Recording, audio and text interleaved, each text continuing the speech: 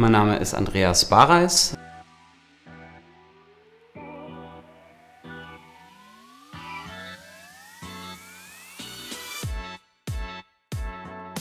Ich habe bei Gaumont drei Hüte auf. Ich bin Teil des Managements in Deutschland ähm, als Executive Vice President Business Affairs and Operations.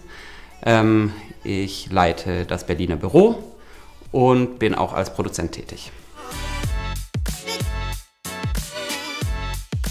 Ich habe in Deutschland und Frankreich Jura studiert, ähm, in Berlin und Paris. Dann danach Film studiert auch nochmal. Und dann war ich erstmal zehn Jahre oder so ähm, als Anwalt tätig im Filmbereich. Und ähm, Gaumont war, als Gaumont nach Deutschland gekommen ist, einer meiner Klienten.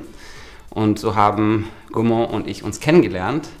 Ähm, und das lief ganz gut. Und irgendwann mal haben wir gedacht, dass ich vielleicht bei Gaumont noch besser aufgehoben wäre als in der Anwaltschaft. Ich glaube im Wesentlichen ähm, eine gesunde Neugier und Interesse für Neues, für neue Ideen, ähm, Spaß am Team, an der Zusammenarbeit im Team ähm, und ich glaube, ähm, gut kommunizieren zu können.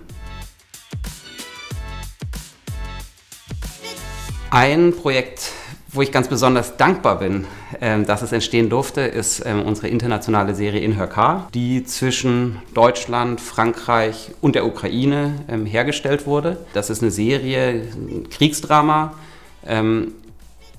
und die entstand während des Krieges vor Ort in der Ukraine. La Boom.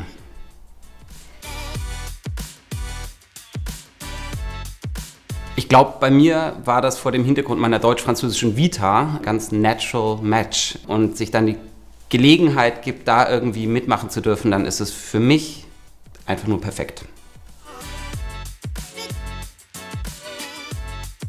Gaumont ist ja ähm, über 130 Jahre alt, deswegen sind die drei Worte frischer als gedacht.